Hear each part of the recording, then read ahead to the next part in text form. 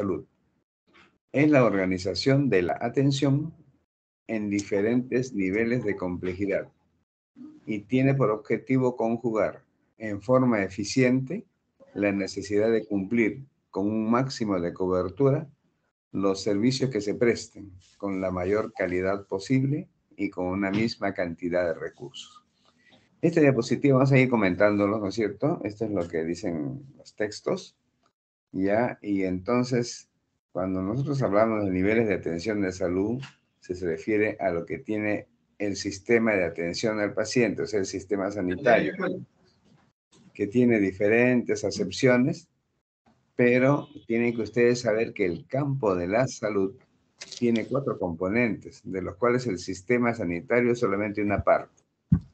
¿Ya? Entonces, cuando se busca otro tipo de atención de salud de los múltiples problemas que tiene el mundo, entonces uno requiere tener en cuenta estos otros conceptos que han sido motivo de otras clases, ¿no?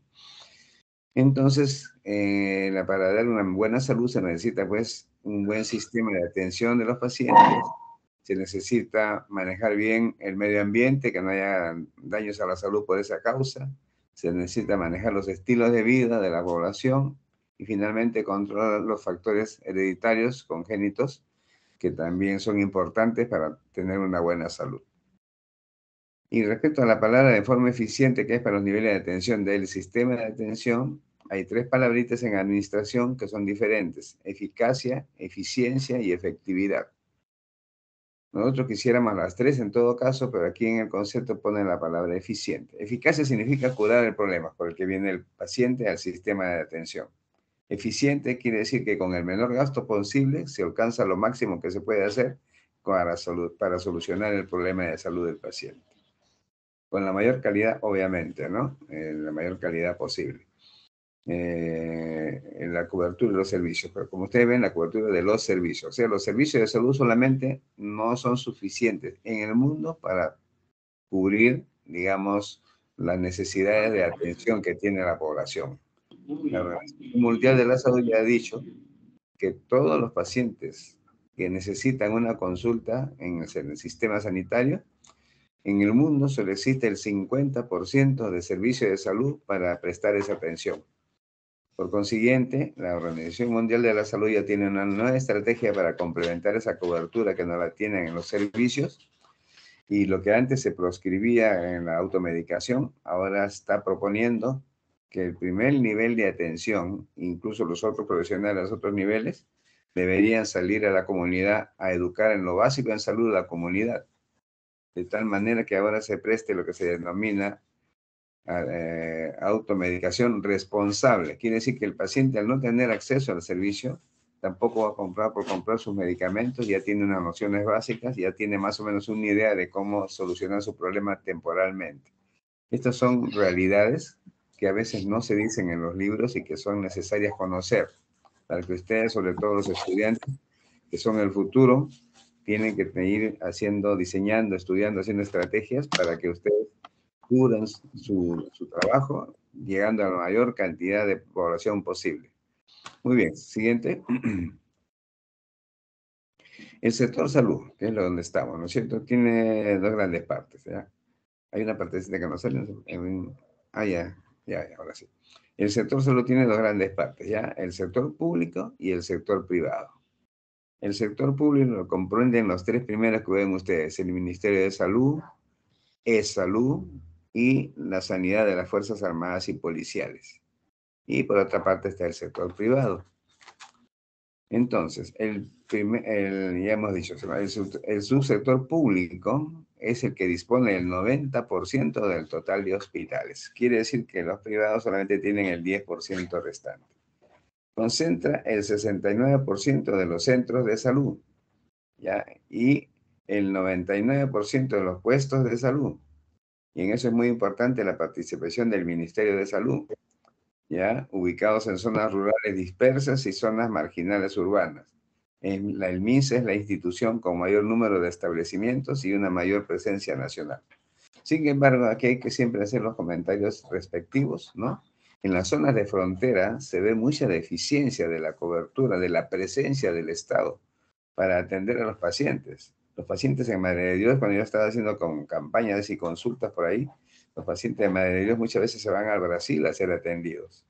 Los pacientes de, Loreto muchas veces se van a Colombia por, el puerto para ser atendidos. Hace poco hubo un caso muy notable de una, de una señora que iba a dar a luz, se tuvo que ir a dar a luz a, Colombia, ¿no? Teniendo, y era habitante de una, de una isla cercana ahí por, en la provincia de Mariscal Castilla, y le dijeron que para dar a luz el único centro adecuado era Loreto, Iquitos, y que un viaje en lancha desde la isla donde estaba hasta Iquitos era 12 horas, entonces no llegaba la señora a dar a luz en, ¿no? en, nuestro, nuestro país. Esas cositas tenemos que manejarlas. También en, en los bolsones de pobreza existe una presencia insuficiente, vamos a decir así, del Estado, sobre todo en aquellos poblados que tienen sus, sus, poblaciones por encima de los 2.400 metros sobre el nivel del mar, ¿no? Todas esas cositas son detalles que hay que irlos apuntando en nuestra mente para ir trabajando en favor de nuestro país, porque nuestro país, como todos los países del mundo, basa su posible futuro desarrollo en tener las personas una buena salud, ya que, ya que teniendo una buena salud pueden capacitarse y educarse, y teniendo una buena salud y estando capacitado y educado pueden conseguir lo que todos anhelamos, el trabajo decente.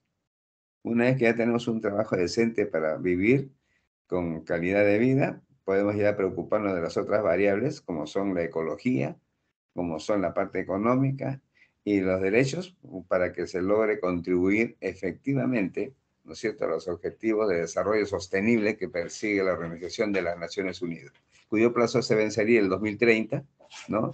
Y que tenemos que participar pues siempre con esa mente, no estar solamente pegadito a, lo que dice la diapositiva y lo que dice, sino siempre ampliar su espectro de, de, de mirar como se dice, los jóvenes que son el futuro de nosotros, mirar e-, ese ámbito más amplio que significa obtener una buena salud. ¿Seguimos? Sí, perdón. Vaya. Este es un esquema más o menos como está acá en Lima, ¿no es cierto?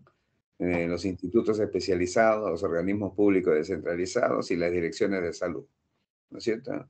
Las direzas, las direcciones regionales de salud, son una forma descentralizada, que ustedes ya saben, porque nuestro sistema actualmente sigue siendo Sistema Nacional Coordinado y Descentralizado de Salud, donde ya se han transmitido, se han eh, repartido las, las competencias a las regiones, ¿no es cierto? Ya no es todo centralizado en Lima como era antes.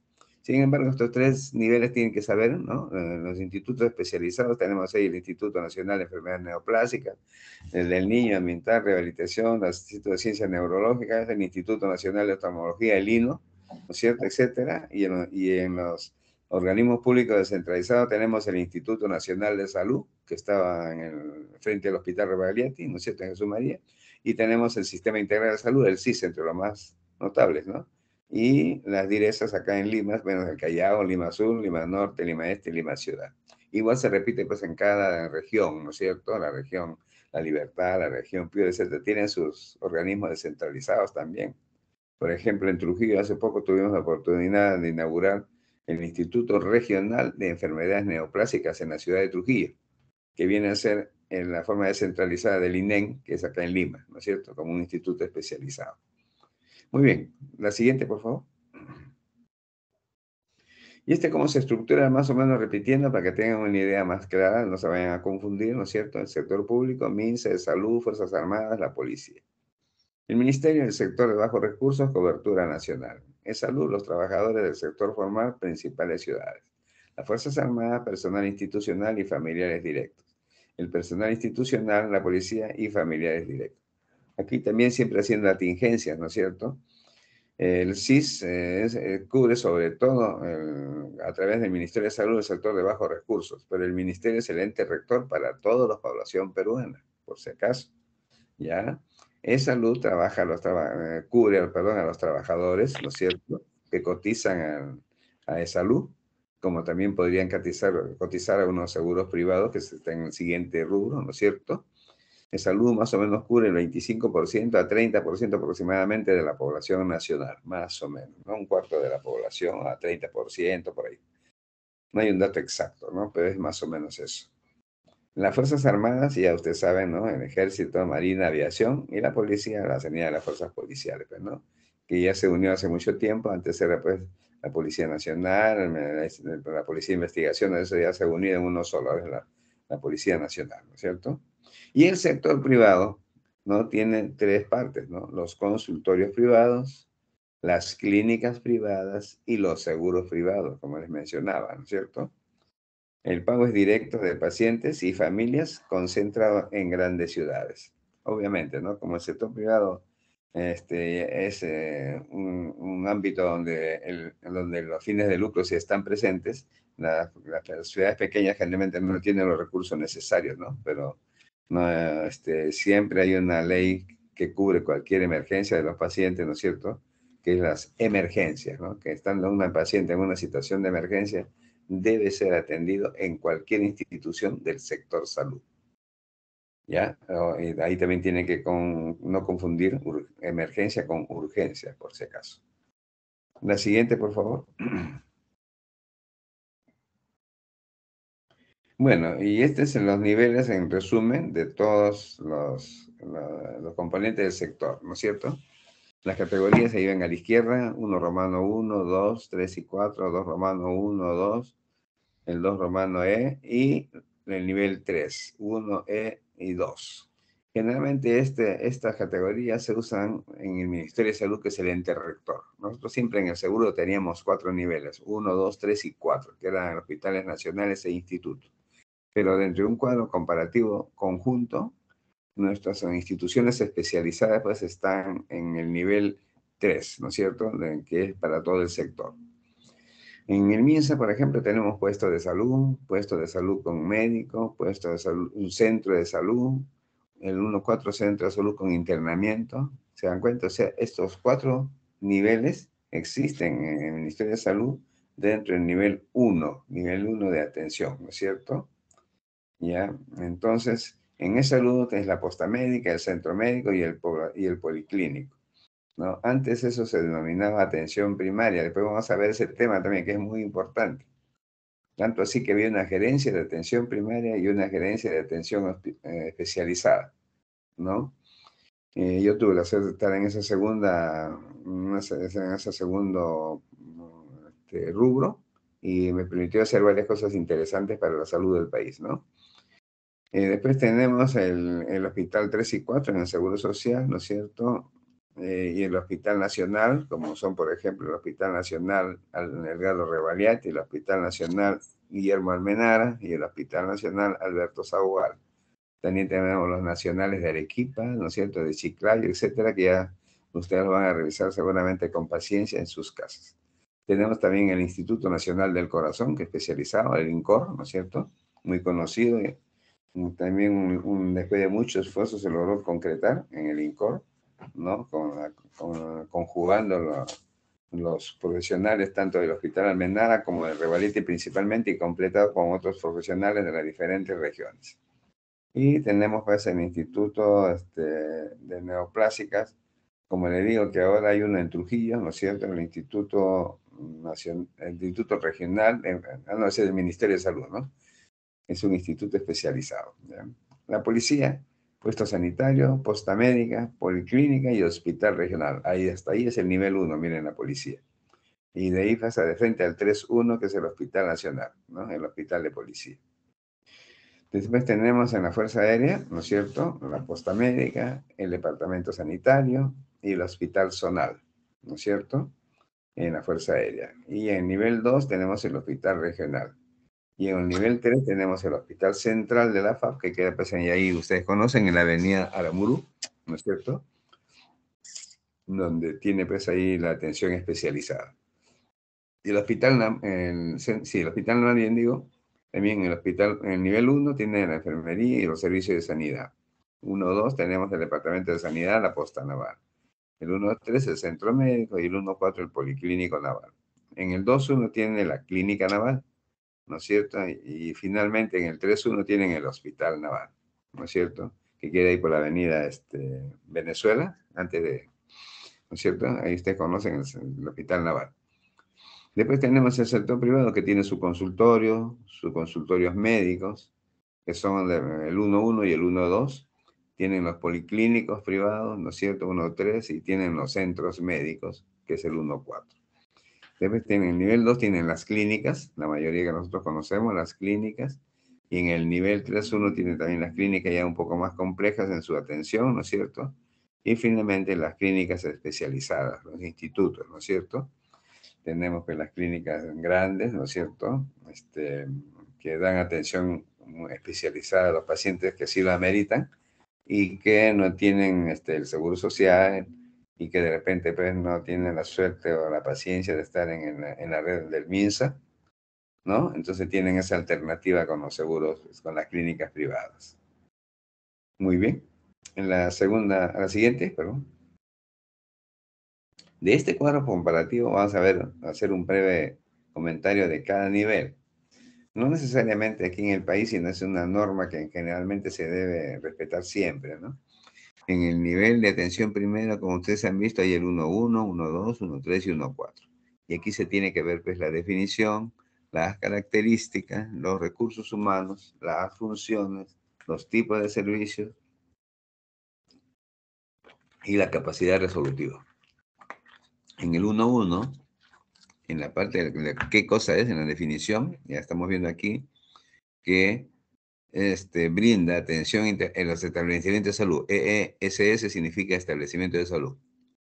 Los establecimientos de salud brindan atención integral, ambulatoria, ¿Le podrías agrandar un poquito, por favor, señorita? Agrandar un poquito. Ya está. No mucho porque ya no se ve todo el cuadro. Ahí está. Ahí está bien. Ahí está bien, perfecto. Eh, brinda atención integral ambulatoria con énfasis en la promoción y en la prevención. Siempre acuérdense de eso, ¿no es cierto? Los procesos asistenciales, ¿no?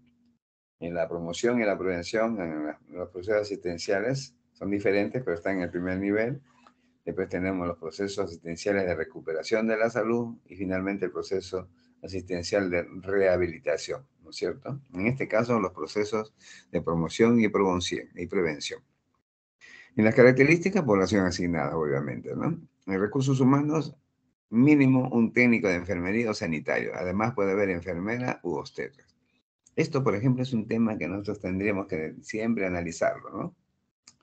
alguna vez estando en estos cargos, como le digo, tenía, tenía elaborando un proyecto nacional sobre un problema oftalmológico, que son las cataratas, y entonces en la población de Guaral me llamaban porque en las alturas donde hacían el majar blanco había unas, este, una comunidad que tenía más o menos 4.000 personas. Y se quejaban porque no tenían a nadie. Y entonces yo pregunté si tenían siquiera un, puesto sanitario, una enfermera, me decían que no había absolutamente nada. Esto estoy hablando de hace ya como 10 años por si acaso, no sé si habrá ahora. Pero entonces es bueno siempre chequear, ¿no? Si eso se cumple en el país. En el país muchas veces tenemos bastantes leyes, pero no las cumplimos, ¿ya? Entonces lo único que necesita es hacer cumplir. ¿ya? Y la otra condición que siempre hay que tener en cuenta es que a veces Dicen, es un hospital 2, es un hospital 3, es en la categorización. Pero hay otro proceso que se llama acreditación, para ver si es cierto que reúne los requisitos de hospital 2, hospital 3. Por eso es que se pone estas cositas, para que ustedes vean si cumple esas funciones, para que acrediten los centros asistenciales que existen, ¿ya? Después tenemos, a ver, no sé por qué hay una barrita que está encima, no me deja ver. A ver, a ver. Mm. Bueno. Mínimo en, en características, ya población asignada, recursos humanos, ya. En funciones, promoción y prevención.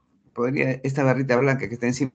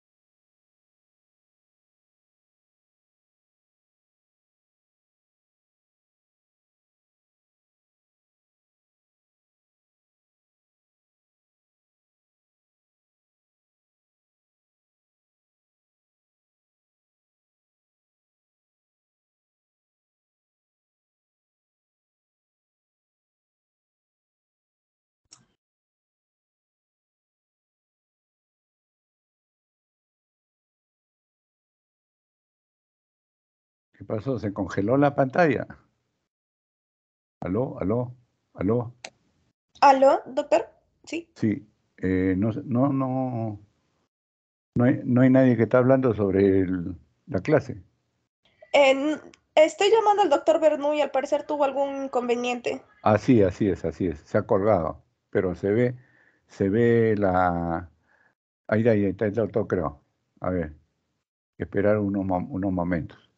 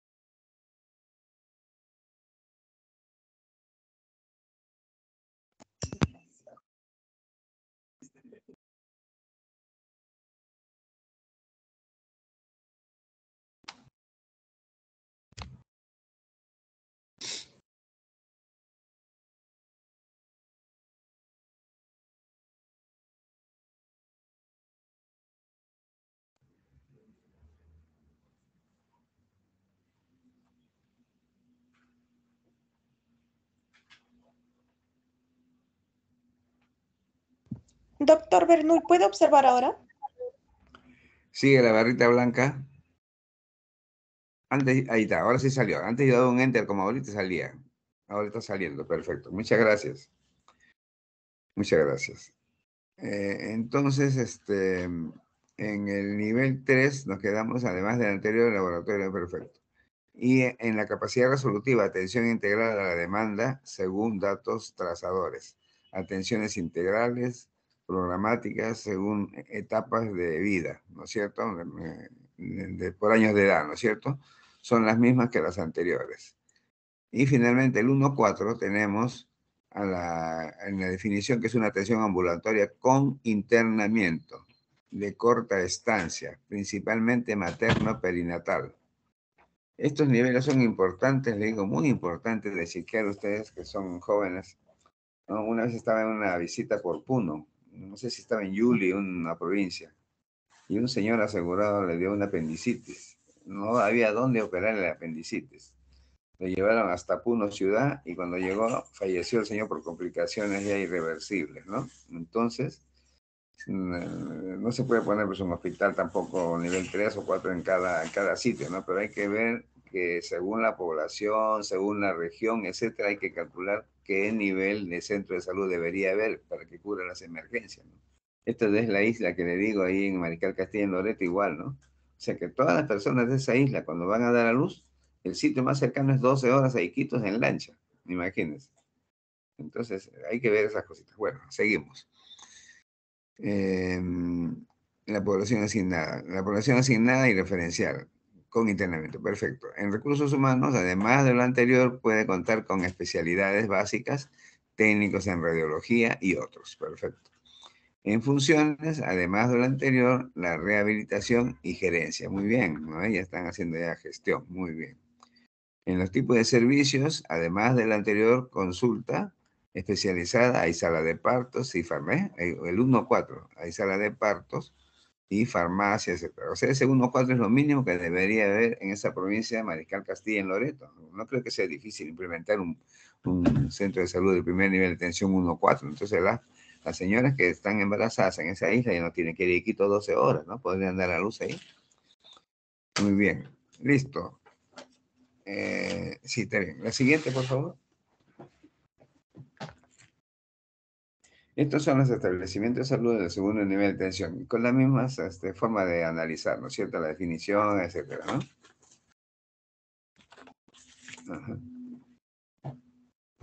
Ya, entonces tenemos el nivel 2.1, la definición. Brinda atención integral ambulatoria hospitalaria en cuatro especialidades básicas.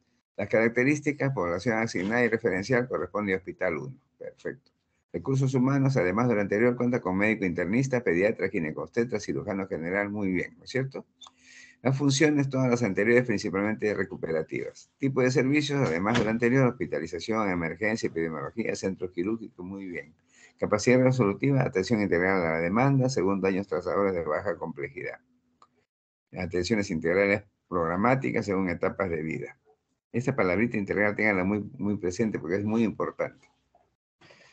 En los hospitales de, segunda nivel de atención de tipo 2 tenemos que brindar atención integral ambulatoria y hospitalaria especializada. Ya no solamente la especialidad básica, sino también la especializada. Población referencial regional, exacto, muy bien. Además de las anteriores otras especialidades médico-quirúrgicas, es recuperativo, ¿no es cierto? Además de la anterior anatomía patológica, neonatología, el tipo de servicios y la UCI en general, ¿no? Y la capacidad resolutiva, la atención anterior a la demanda, según daños trazadores de mediana complejidad mediana complejidad. La siguiente. La siguiente, por favor. Y en los establecimientos del tercer nivel, con la misma característica, ¿no es cierto? El 3.1, brindan, los establecimientos de salud brindan atención de consulta externa y hospitalaria altamente especializada. Las características, población referencial regional y nacional. Muy bien. Recursos humanos, además de las anteriores especialidades y subespecialidades médicos y quirúrgicas. Funciones, recuperativa y rehabilitación especializada. Tipo de servicios, además de las anteriores, la UCI especializada, hemodiálisis y servicios de apoyo al diagnóstico especializado. La capacidad resolutiva, atención integral según daños trazados de alta complejidad. Y los hospitales 3.2, en los establecimientos de salud de alta capacidad resolutiva, especialmente en un área de, salud o etapa de vida y propone normas. No tiene población asignada centro de referencia especializado de mayor complejidad con ámbito nacional y,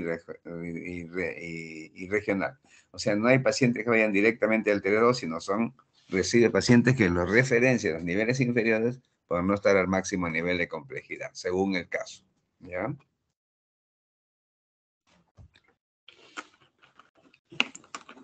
Y los recursos humanos son los recursos altamente especializados, capacitados según su área especializada. En las funciones ya tienen, además de la atención de salud, tiene la investigación, la docencia, la normatividad y la parte prestacional, que es la atención, ¿cierto? Tipo de servicios, de acuerdo al área, de acuerdo al área de la salud que corresponde a su especialidad de docencia e investigación. Y capacidad resolutiva, atención altamente especializada relacionada a su área de salud. Muy bien. La siguiente. Ahí viene lo que le decía, ¿no? Esto le sacaba especialmente para ustedes. Es lo mismo la atención primaria de salud y el primer nivel de atención de salud, porque es un permanente batallar. Hasta en Europa lo he visto, ¿no? La atención primaria de salud y se refiere a las postas, todo eso, ¿no es cierto? Entonces, todo eso hay que coordinar porque no hay aparentemente una, no hay, eh, ¿cómo le diría? No hay un lenguaje único a nivel mundial. Y el creador de esta atención primaria de salud no fue creador en realidad, sino el gestor porque fue director de la Organización Mundial de la Salud en el año 1978 en Alma-Ata, una población en la Rusia antigua. La idea era dar atención primaria que significaba algo más que la atención sanitaria, donde se ingresaba incluso la parte social, la parte económica con participación de la comunidad. Y el objetivo de la atención primera era llegar al lema que decía salud para todos en el año 2000. Eso se planeó en 1978 la dirigió un peruano, el doctor David Tejada de Rivero. No se cumplió la salud para todos y como digo, hasta ahora no se puede dar salud para todos, pero hay que hacer énfasis que la salud, la atención primaria es diferente al primer nivel. Aquí vemos, la atención primaria de salud es un enfoque para la salud y el bienestar centrado en las necesidades y circunstancias para las personas, familias y comunidades. Es una estrategia que se puede aplicar en todos los niveles de atención, Vela por un tratamiento integral desde la promoción y prevención hasta el tratamiento y la rehabilitación. Participación comunitaria, como le decía, ¿no? intersectorialidad, o sea, todos los sectores, no solamente salud, redes integradas de servicios, se basa en la justicia social, la equidad y en el derecho al goce máximo de salud en concordancia con el artículo 25 de la Declaración Universal de los Derechos Humanos. Como ustedes ven, es algo diferente al primer nivel de atención, ¿no es cierto? La atención primaria, AP, que es diferente a la atención primaria de salud, es un modelo de atención, atención médica hospitalaria, atención médica especializada, coordinación, integralidad y longitudinal. Y el primer nivel de atención, que es hemos visto en la estructura, ¿no es cierto?, en los niveles de atención, es el primer nivel asistencial de un sistema de salud donde hay bajo nivel de complejidad. Como ustedes ven, no es lo mismo las tres cosas, ¿no? Eso hay que tener en cuenta. La siguiente. Y este más o menos es la historia, cómo se inició, para que vean ustedes, ¿no? Muchos de los principios de atención primaria de salud fueron tomados de países ¿no? de gran población, la China, diferentes experiencias para la salud basados en la comunidad no gubernamental, así nació, ¿no? Filipinas, América Latina y otros países. Y el concepto de atención primaria de salud tenía fuertes implicancias sociopolíticas apuntaba explícitamente a la necesidad de una estrategia de salud integral que no solo abasteciera de servicios de salud, que es lo que se está viendo en, los servicios, en los niveles de atención, sino que afrontara las causas fundamentales, sociales, económicas y políticas de la falta de salud. ¿Se O sea, la atención primaria es otra cosa. no digan cuando ven una protesta de atención primaria, están hablando mal. ¿ya? En todo caso, eh, me disculpo si es que no estoy diciendo lo correcto, pero creo que es así. ¿ya? Hay que siempre decir el primer nivel de atención cuando se está en el primer nivel de complejidad, ¿ya? Creo que estaríamos más cercanos a la, verdad. ¿Seguimos? Seguimos, ya. Después el otro tema de hoy día era el equipo de salud. Aquí llamamos equipo de salud, es un grupo de personas con saberes y funciones diferentes que comparten un mismo objetivo, responden a una organización y tienen un coordinador.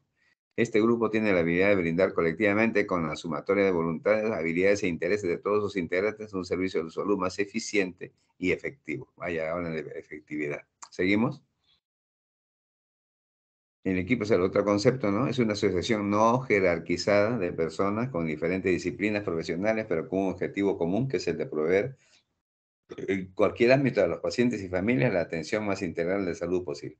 En esto quiero también determinar un ratito cuando se juntan varias personas, médicos, enfermeras, X, para hacer un trabajo en conjunto y no hay vasos comunicantes entre ellos, no se potencian entre ellos, no hay buena comunicación entre ellos, ¿no es cierto? No se aprovechan las fortalezas, no se disminuyen las debilidades, etcétera.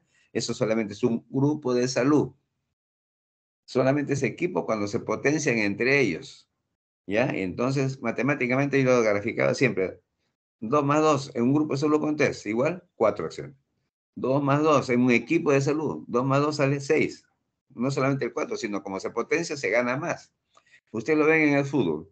Tres estrellas en el equipo de fútbol París Saint Germain, que no se comunican por celos, por lo que sea, disminuye la producción del equipo de fútbol. Pero ¿qué pasa cuando se comienzan a conversar y ven que el equipo está en riesgo y puede perder su trabajo porque hay financiadores que también dependen de eso? Se comunica, entonces esos mismos tres que antes no rendían, ahora esos tres hacen maravillas, porque ya trabajan como equipo, ya no como grupo. Entonces, el equipo es diferente del grupo. También se puede graficar con la diferencia entre, entre el líder, ¿no es cierto? Ya vamos a ver después, y el caudillo, eso lo vamos a ver después, ¿ya? Pero más, más o menos para que ustedes tengan la idea. Entonces, el equipo de salud es un conjunto de personas de diferente naturaleza, pero no hay jerarquía por el nivel de la profesión, etcétera, sino es cuestión de trabajar juntos para un objetivo común. ¿Seguimos? Y los estudiantes, que son ustedes, en la que yo creo mucho en los estudiantes, porque son la juventud y el futuro del país, es la verdadera herramienta de, la permanencia de la vida en el mundo, ¿no es cierto? En la, juventud estudiosa. Entonces, tienen sus roles también que cumplir con la escuela de medicina, tienen su rol en el equipo de trabajo, tienen su rol en la comunidad y tienen su rol en el sistema de salud. Los requisitos para las actividades en carga son actividades remotas, como estamos ahora básicamente la educación a distancia, ¿no es cierto? Que ya hemos visto debido a esta pandemia. También tienen que estar alineadas a las necesidades y con un valor educativo formativo. ¿Seguimos? ¿Seguimos? Y este es lo que le decía sobre el liderazgo, ¿no es cierto? Eh, que más o menos va llegando a la última parte, que es la, el rol del médico, ¿no es cierto? El médico, por sus capacidades, de que, estudios que ha tenido, etcétera, etcétera, debería ser el líder natural. Pero en los equipos de salud, el liderazgo por el médico, el médico tiene que ganarse ese sitio como líder en base a sus competencias. Ya ustedes saben eso. Que tiene la competencia, tiene tres capacidades. La capacidad cognitiva, lo que aprenden en sus clases, la capacidad procedimental para hacer lo que dice la teoría, ¿no es cierto? Y hoy en día la más importante es la capacidad afectiva. ¿Para qué usan lo que aprendieron y saben hacer en la práctica? Si es para el bien común, como dice filosóficamente Aristóteles, o de repente no es para toda la población mayoritaria y de repente todas esas dos capacidades previas no logran concretarse en, un, en, una, este, en una competencia, no es, no, no es competitivo el ciudadano, el, el, médico en este caso, ¿no es cierto? Entonces, si el médico dentro de un equipo de salud tiene las tres, las tres capacidades que lo hace competitivo, él debe ser el líder, pero no por ser médicos, porque no hay jerarquización, ya vieron, sino por sus competencias, ¿ok? Y la administración es diferente, ¿no es cierto? La administración planea, planea y presupuesta, establece agenda, pone límites. En cambio, el, liderazgo, el líder crea visión, aclara el panorama general, diseña estrategia. En la organización de personal, el administrador provee estructura, perfiles de trabajo, establece reglas, etcétera, ¿no es cierto? Controla a las personas. El líder, ¿qué hace? Comunica metas, busca compromisos, construye equipos y coaliciones. A la izquierda, la administración, ¿qué hace? Control y solución de los problemas, desarrolla incentivos, genera soluciones, los bonos, esas cosas. Pero ¿qué es el líder? Inspira y energiza, empodera a subordinados, satisface necesidades. Como se dan cuenta ustedes, no es lo mismo. Es como el jefe y el líder. Había una gráfica, lamentablemente no queda mucho tiempo y no tenía tanto espacio para hacer una clase más grande, pero hay una subidita en un cerrito donde por un lado está el, el grupo de trabajo que lo dirige el jefe con su ceño fruncido arriba, esperando que el equipo suba una máquina pesada entre cuatro trabajadores, y a la derecha estaba el líder, donde bajaba de, la parte de arriba y se, juntaba con los trabajadores para ayudar a empujar el, objeto pesado hacia arriba y llegaba bien, contribuyendo a eso. Entonces es la diferencia entre el jefe y el líder, ¿no es cierto?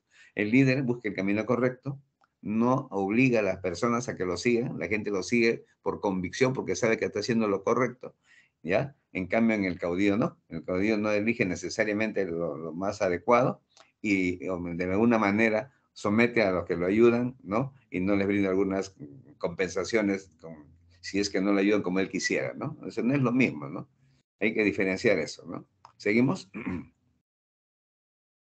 Bueno, ahí están las referencias, jóvenes.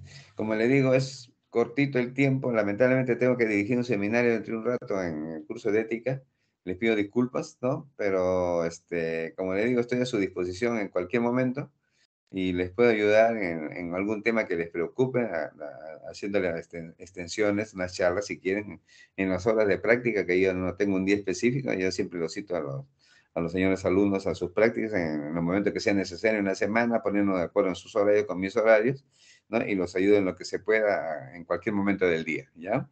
Muchas gracias, doctor Alvites. Muchas gracias, señores profesores. Muchas gracias, señores alumnos. Si hay alguna aclaración, por favor, dígamela.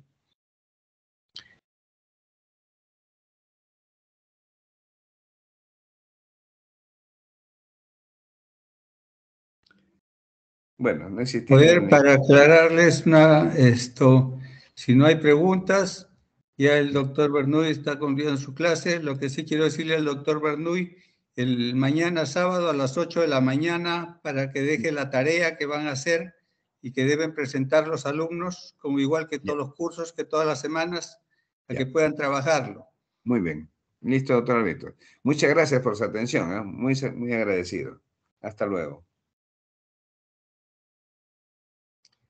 Bien, entonces, eh, nos vemos mañana en la práctica a las 8 de la mañana. Gracias, señores docentes. Gracias, demás alumnos. Gracias, doctor. Buenas tardes. Gracias. Gracias, doctor. Gracias, doctor.